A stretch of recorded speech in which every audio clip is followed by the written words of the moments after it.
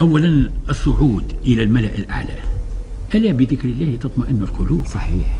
ولهذا كلما تصعد كلما ترتقي ولك درجات عليا عند الله سبحانه وتعالى. نعم. هذا من ناحية. ثم من ناحية أخرى جرى العرف في تونس أن كلمة الله سبحانه وتعالى العليا هي يعني ترفع من أماكن عليا.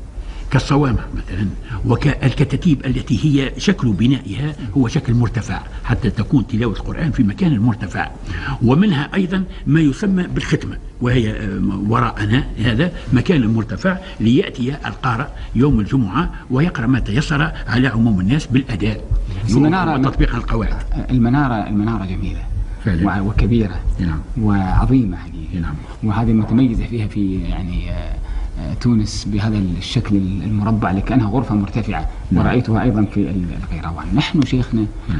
يعني مستمتعون بهذا ال- الفضاء